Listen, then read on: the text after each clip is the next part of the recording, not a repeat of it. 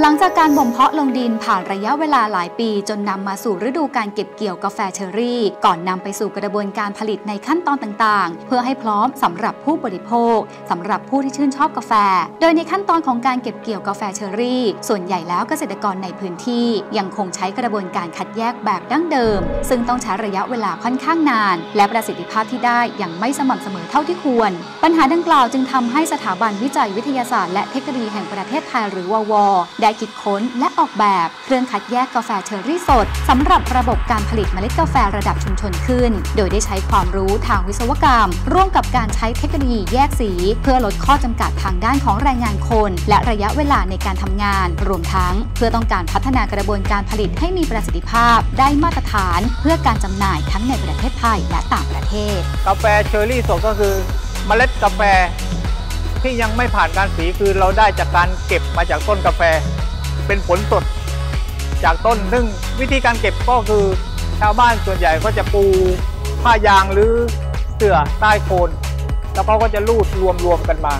ทาสีกัน เขาก็จะใช้วิธีการแบบเดิมก็คือเทลงไปในอ่างน้ำอันไหนที่ลอยเขาก็จะตักทิ้ง อันไหนที่จมก็คือเม็ดที่สมบูรณ์ แต่ในเมล็ดที่สมบูรณ์เนี่ยมันยังมีทั้งสีเขียว สีแดง สีเหลือง ซึ่งจริง ๆ กาแฟที่คุณภาพดีก็คือ สีส้มถึงสีแดงที่มีคุณภาพก็คือกาแฟสุกพร้อมที่จะนำไปสีเป็นขั้นตอนต่อไป อันนี้เราเพื่อที่จะลดขั้นตอนเวลาในการทำงาน แล้วก็เพิ่มประสิทธิภาพ โดยการคัดแยกสี เราจึงได้พัฒนาเครื่องคัดแยกสีเพื่อการทดแทนเครื่องนำเข้า ซึ่งปัจจุบันนี้ในต่างประเทศเนี่ยก็ใช้คัดแยกกันอยู่ แต่ว่าราคาค่อนข้างสูง ซึ่งวิสาหกิจชุมชนหรือเกษตรกรทั่วไปไม่สามารถจับต้องได้ ซึ่งมีราคาเป็นหลักล้านอยู่ในณปัจจุบันนี้ เพราะฉะนั้นเราเลยพัฒนาทดแทนเครื่องนำเข้า ระบบการทำงานของเครื่องคัดแยกกาแฟเชอร์รี่สด จะใช้การประมวลผลภาพ จากการนำภาพมาประมวลผล หรือคิดคำนวณด้วยคอมพิวเตอร์ เพื่อให้ได้ซึ่งข้อมูลในเชิงคุณภาพและปริมาณ โดยมีกำลังการผลิต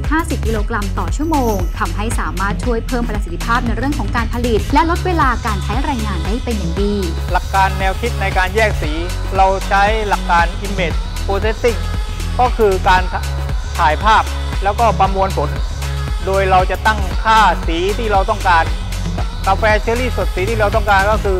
สีส้มถึงสีแดงเมื่อเราได้ผลกาแฟเชอร์รี่สดมา จากการเก็บมาจากต้นเราก็นำมาแยกสี โดยการใส่ลงไปใน hopper hopper เราก็จะทำการปล่อยให้มันเรียงเมล็ดเรียงเมล็ดเพื่อสะดวกในการถ่ายภาพเพราะแก้ปัญหาว่าเมล็ดมันจะเบียดกันแล้วเราถ่ายภาพซ้อนเพราะฉะนั้นถ้ามันเมล็ดเรียงตัวมาเนี่ยเราก็จะความแม่นยำจะมากขึ้น เมื่อผ่านลูกกลิ้ง roller ปล่อยออกมา เราก็จะผ่านมาที่สายพาน สายพานก็จะนำเมล็ดเข้าไปใน runner ช่องวิ่งพอช่องวิ่งปุ๊บพอผ่านช่องวิ่งมาก็จะมีกล้องจับภาพจับภาพแล้วก็จะมีหลอดไฟที่ทำให้ภาพคมชัดพอถ่ายภาพได้เราก็ก็จะส่งภาพไปประมวลที่คอมพิวเตอร์ พอประมวลภาพปุ๊บเราก็จะตั้งเล็งสีไว้ เล็งสีที่เราต้องการก็คือผ่าน อันไหนที่เราไม่ต้องการก็ให้ eject ออก ด้วยใช้วาล์วลมเป็นตัวควบคุม สั่งการมาจากคอมพิวเตอร์ นับว่าเป็นอีกหนึ่งการดำเนินงานของนักวิจัยไทยที่มุ่งมั่นใช้ความรู้ทางด้านวิศวกรรม และเทคโนโลยี เพื่อนำมาแก้ไขปัญหาต่างๆ ให้กับเกษตรกรไทย เพื่อให้ได้มาซึ่งผลผลิตที่ดีมีคุณภาพ ลดการนำเข้าอุปกรณ์จากต่างประเทศ และสร้างรายได้ที่ยั่งยืนให้แก่เกษตรกรและชุมชน ทั้งนี้เครื่องคัดแยกกาแฟเชอร์รี่สด ปัจจุบันยังเป็นเครื่องต้นแบบที่นักวิจัยอยังเร่งพัฒนาอย่างต่อเนื่อง เพื่อทำให้การคัดแยกมีประสิทธิภาพสูงสุด และมีความแม่นยำสูงกว่าร้อยละ 95 โดยยทางทีมวิจัยมีแนวโน้มที่จะเพิ่มกล้องสำหรับใช้ประมวลภาพ ให้มีจำนวนและความละเอียดที่เพิ่มมากขึ้น รวมทั้งเตรียมที่จะพัฒนาในเรื่องของกำลังการผลิตให้สูงขึ้น เพื่อให้สามารถนำไปใช้งานในเชิงอุตสาหกรรมได้ในอนาคต